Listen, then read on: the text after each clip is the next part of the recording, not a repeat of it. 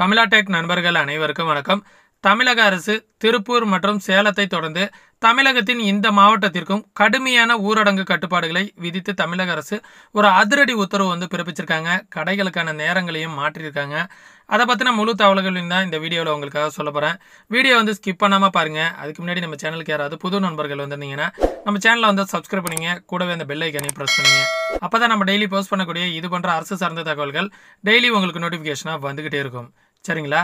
வாங்க வீடியோக்குள்ளார பார்க்கலாம் தமிழகத்தில் சமீப காலங்களில் ஒரு சில மாவட்டங்களில் நோய் தொற்று பரவல் அதிகரித்து வரும் நிலையில் மக்களின் வாழ்வாதார பாதிப்புகளை கருத்தில் கொண்டு வழங்கப்பட்டுள்ள தளர்வுகளை தவறாக பயன்படுத்தப்படாமல் கண்காணித்து அரசின் வழிகாட்டு நெறிமுறைகளை கடுமையாக நடைமுறைப்படுத்த மாவட்ட ஆட்சியர் தலைவர் மற்றும் மாவட்ட காவல்துறை அலுவலர்களுக்கு ஆகியோர்களுக்கு அரசு ஒரு அதிரடி உத்தரவு வந்து பிறப்பிச்சிருக்காங்க. அதன் அடிப்படையில் அடிப்படையில் அனைத்து கடைகளும் காலை ஆறு மணி முதல் மாலை ஐந்து மணி வரை மட்டுமே செயல்பட அனுமதி என்று ஈரோடு மாவட்டத்தில் இன்று முதல் புதிய கட்டுப்பாடுகளுடன் கொரோனா கட்டுப்பாடுகள் அமலுக்கு வருகிறது என அந்த மாவட்ட ஆட்சியர் அவர்கள் உத்தரவு பிறப்பித்திருக்கிறார்.